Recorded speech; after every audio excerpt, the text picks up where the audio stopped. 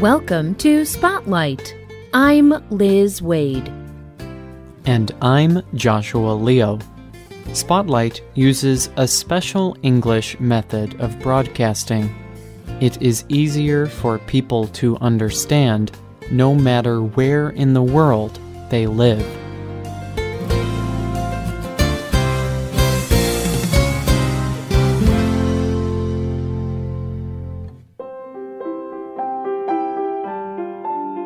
The year was 1752.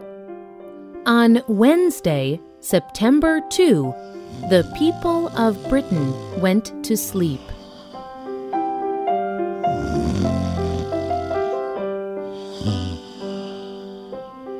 When they woke up in the morning, the date was Thursday, September 14. That sounds like a mistake. The date should have been Thursday, September 3, not Thursday, September 14. But this story is true. The people of Britain went to sleep on September 2. When they woke up, the date was September 14. This strange date change was the result of a British Act of Parliament. This act was called the British Calendar Act of 1751. Why did the British Parliament do this? In 1752, the official calendar of Britain was behind the official calendar of Europe by 11 days. So in the United Kingdom, the date was September 2, but in Europe, it was September 13. A calendar is very important for measuring days and months, keeping religious holidays, and observing the seasons. Britain had been following an old version of the calendar. In 1752, they finally began to use the calendar accepted by the rest of the world. This helped them trade with other countries and celebrate religious holidays at the same time as the rest of Europe. Calendars are very complex. They depend on careful measuring, and they affect many parts of the world. Today's spotlight is on the history of the most used calendar in the world, the Gregorian calendar.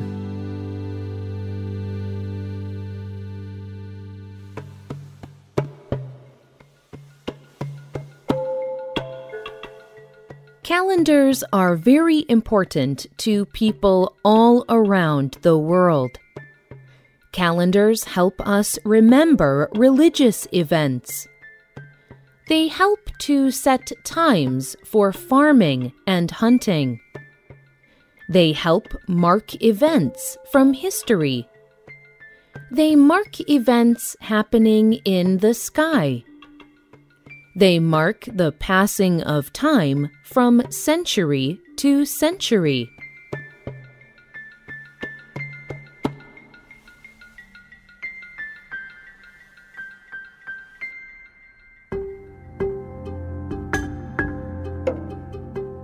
Some experts believe that the ancient Roman and Egyptian people were some of the first to use calendars. They created calendars almost 3,000 years ago. The Romans based their calendar on phases of the moon, that is, how the moon appeared. The moon goes through a cycle every 29 and a half days. It begins as a full moon. It slowly gets smaller and smaller Then it begins to get larger and larger until it is again a full moon. For the Romans, a full moon was the beginning of a new month. But the Egyptians based their calendar on the sun. The sun follows a set path in the sky as the earth travels around it. There are no clear months. Instead, measuring time depends on the seasons and where the sun is located in the sky. A year counted using this method is called a solar year.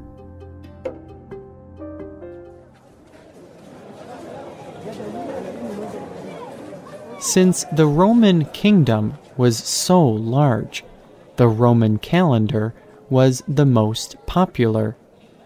But until about 46 BC, or about 2000 years ago, the calendar was not well organized. At first, there were only 10 months on the calendar. Each month was named after a number. The year always began in March and ended in December. The Romans did not even count the months that we now call January and February they were not considered a part of the year. But after time, one of the emperors did divide this uncounted time. He named it and began to count it on the calendar. So then the months named after numbers were not correct anymore. Calendar officials did not always follow the calendar rules carefully. Officials of the Roman government sometimes changed dates and lengths of months to stay in office longer. After some time, the official Roman calendar was in trouble. It did not even follow the seasons. Then the Roman Emperor Julius Caesar took control. He designed an improved calendar. He changed and improved the calendar in three main ways.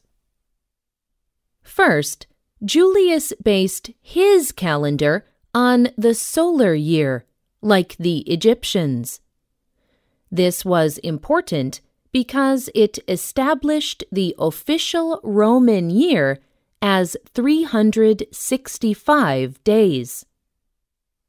Second, Julius changed the date of the official beginning of the year from March to January 1. Third, Julius changed the lengths of the months to how we know them today. Most countries of the time began using this new calendar. It was called the Julian calendar.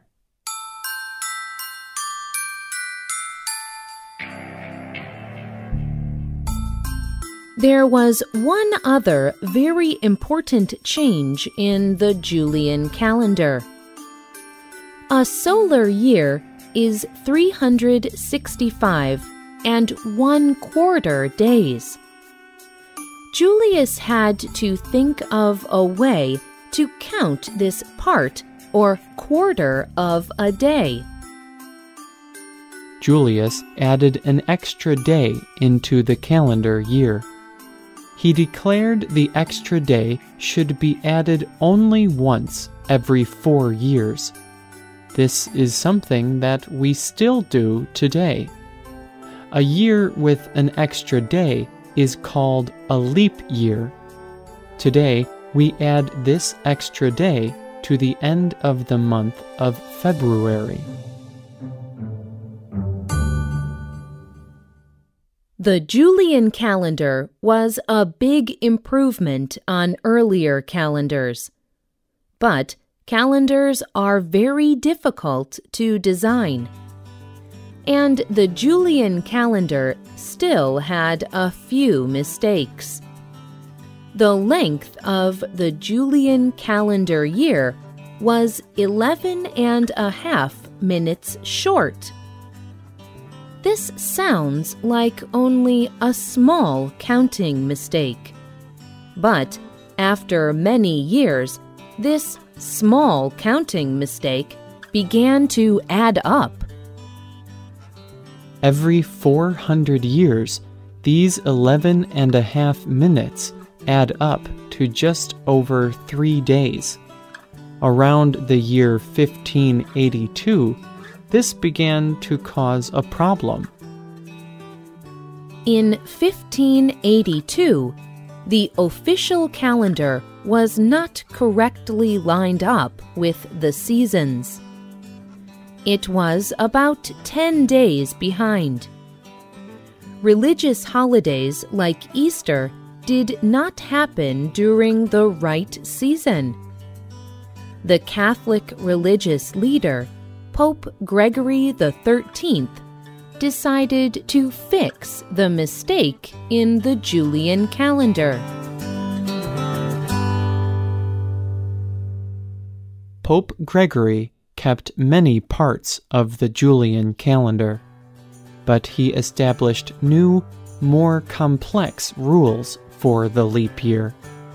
His new calendar was called the Gregorian calendar.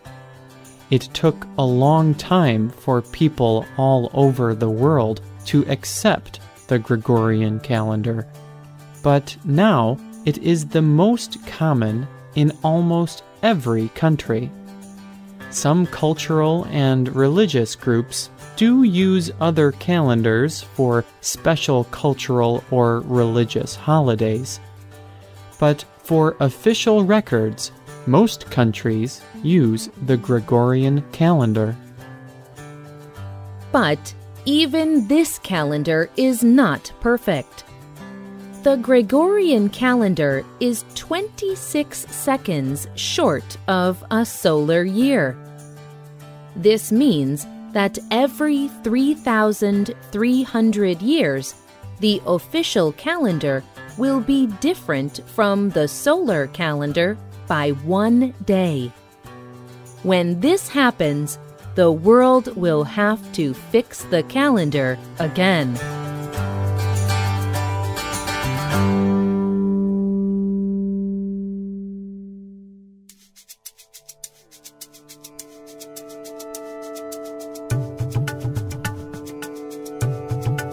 The writer and producer of this program was Liz Waid. The voices you heard were from the United States. You can find our programs on the internet at www.radioenglish.net. This program is called The History of the Calendar. You can also leave your comments on our website. And you can find us on Facebook. Just search for Spotlight Radio. We hope you can join us again for the next Spotlight program. Goodbye.